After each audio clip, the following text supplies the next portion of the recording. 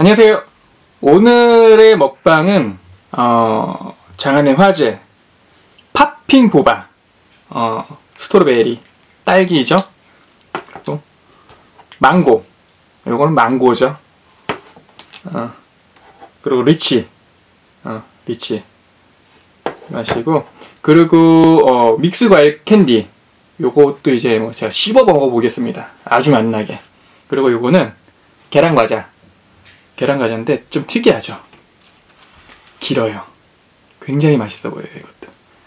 음. 예. 그러면은 잘 먹어보겠습니다.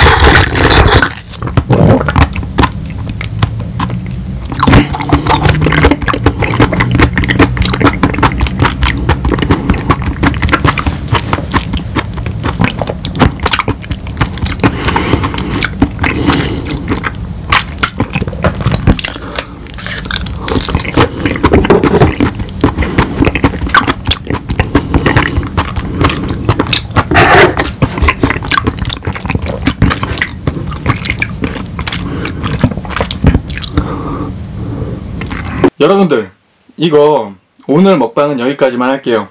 이게 엄청 새콤달콤해요. 다. 다. 요것도 그러고 제일 맛있는 건 저는 계란과자.